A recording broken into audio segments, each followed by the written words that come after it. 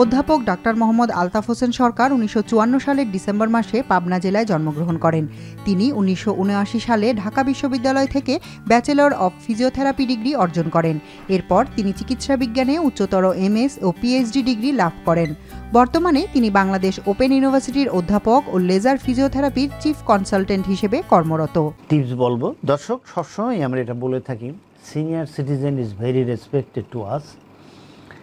চলুন আমরা সবাই যেন সিনিয়র সিটিজেনকে আমরা রেসপেক্ট করি, তাদেরকে হেল্প করি। সিনিয়র সিটিজেনদেরকে আমরা যেন কেয়ার করি। আর কেয়ার করার জন্যই আমাদের কেয়ার গিভার তৈরি করতে হবে। অথবা আমি এবং আপনি আমরা যেন কেয়ার গিভার তৈরি হই এবং সিনিয়রদেরকে সাহায্য করি। দর্শক, মনে রাখতে হবে, যখনই বয়স বাড়বে, বয়স বাড়ার সাথে সাথে আপনার মবিলিটি কমবে। মবিলিটি অনেক কমতেই পারে। বাট কমবে এটাই স্বাভাবিক। অ্যাজ ফর এক্সাম্পল ধরেন, আপনি সিনিয়র সিটিজেন আপনার বয়স অ্যারাউন্ড সিক্সটি ফাইভ আপনি টোয়েন্টি ইয়ার্স আগে থার্টি ইয়ার্স আগে ফোরটি ইয়ার্স আগে আপনার মোবিলিটি যেমন ছিল, এখন কিন্তু তা নাই। তার মানে মোবিলিটি কমলো। আর বয়স বাড়ার সাথে সাথে আমাদের অনেক রোগ হয়, অনেক বয়সের রোগ হয়। যেমন আমাদের চোখের পাওয়ার কমে যায়। সেক্ষেত্রে আমাদের চোখের মাসেলের এক্সারসাইজ করা দরকার। আমাদের মোবিলিটি কমে যায়, তার এক্সারসাইজ করা দরকার, আমাদের হাঁটু ব্যথা হয়। হাঁটু ব্যথা হলে খুব সুন্দর করে প্রপারলি সঠিক এক্সারসাইজ ব্যায়াম করতে হবে। মনে রাখতে হবে এক্সারসাইজ ইজ মেডিসিন এই সিনিয়র সিটিজনদের অন্যান্য কষ্ট থাকে, যে কষ্টের জন্য তারা ব্যথার ওষুধ খেতে পারে না। তো সেক্ষেত্রে এক্সারসাইজ আরও ভালো মেডিসিন বিগ মেডিসিন বাট মনে রাখবেন বয়স বাড়ার সাথে সাথে আমাদের যে ব্যথাগুলো হয় ক্রনিক পেইন হয়, আমাদের মাসেল টাইট হয়, আমাদের রেঞ্জ অফ মুভমেন্ট কমে যায়, এসব কারণে ব্যথা হয়। আর যে কারণে ব্যথা হয়, সেই কারণগুলো এই ব্যথার ওষুধে যায় না। কে বলেছেন? যারা রিসার্চ করে, তারা বলেছেন, আর আমার গত বিয়াল্লিশ বছরের অভিজ্ঞতা দেশে এবং বিদেশে প্রফেশনে আমার রুগীরা বলেছে, ভালো হয় না। তো সুতরাং exercise is only medicine exercise is the best medicine for senior citizen এই ধরনের অসুবিধার জন্য। চলুন আমরা একটু টিপসগুলো শুনে নিই। টিপসগুলোর মধ্যে রয়েছে প্রতিবেলা খাবারের বাইরে স্বাস্থ্যকর খাবার গ্রহণ করা দরকার। আপনি প্রতিবেলা যে সমস্ত খাবার ঘরে খান, যদি আপনি কখনো বাইরে যান বা এডিশনাল খাবার খান, অবশ্যই স্বাস্থ্যকর খাবার খাবেন। এর মধ্যে আপনি অবশ্যই মনে রাখবেন আপেল। আপনার আপেলটা কি? কেউ কেউ বলছে যে যদি একজন লোক একটি আপেল খায়, তাহলে ডাক্তার সেখানে আর যায় না বা আসতে হয় না।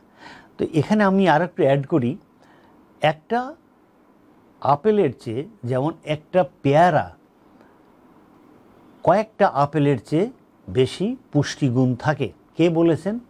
পুষ্টিবিদরা বলেছেন, পুষ্টিবিজ্ঞানী বলেছেন। তো সুতরাং এখন তো পেয়ারার সময়, সুন্দর করে পেয়ারাটা খাবেন। যদি দাঁতে কোনো প্রবলেম থাকে, বিচি এড়িয়ে যান। পেয়ারা খাবেন, বাদাম খাবেন, প্রোটিন জাতীয় খাবার খাবেন এবং যেসব খাবার খেলে আপনার অসুবিধা না হয়, সেগুলো বেশি বেশি খান। উষ্ণ পানি খাবেন।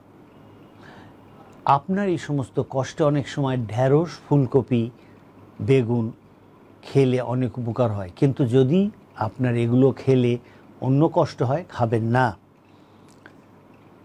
আমরা চলে যাচ্ছি নেক্সট অর অথবা দ্বিতীয় টিপসে দ্বিতীয় টিপসে আমরা তো সারাটি জীবনই ভাত খেয়ে এসছি। ছোটবেলা থেকে শুরু করে এ পর্যন্ত ভাত ভাত ভাত। তা আমি দেখি আমার নাতিকে, সে তখন অনেক ছোট, ভাত, যে খাবারই খাক না কেন ভাত খেতে হবে তাকে।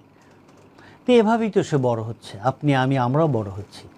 কিন্তু আমি একটু বলব যে ভাতের উপরে ঝাঁপিয়ে পড়বেন না। অর্থাৎ ভাত দেন, ভাত খাচ্ছি, ভাত কই।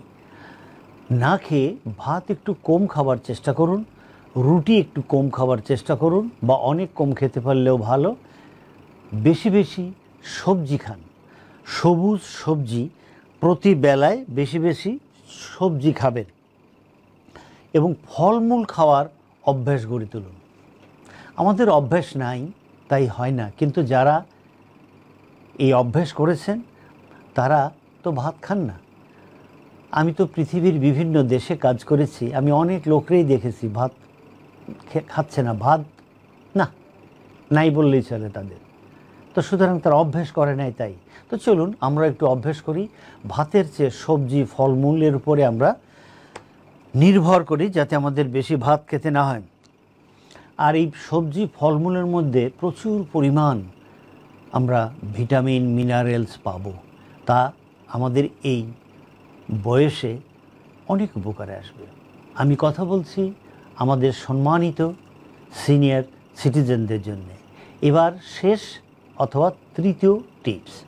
শেষ এবং তৃতীয় টিপসটা আমরা এর আগে অনেকবার বলছি, আবারও বলছি, তাহলে এই হাঁটার অভ্যাস রাখতে হবে মোবিলিটি বাড়াতে হবে, যেন মোবিলিটি কোনোভাবেই কমে না যায়। মোবিলিটি মোবিলিটি বাড়াতে হবে। এক্সারসাইজ এক্সারসাইজ করতে হবে। এক্সারসাইজ ইজ মেডিসিন অবশ্যই সিনিয়র সিটিজেন আপনি একজন বিশেষজ্ঞ ফিজিওথেরাপি চিকিৎসকের তত্ত্বাবধানে আপনার এক্সারসাইজগুলো করবেন।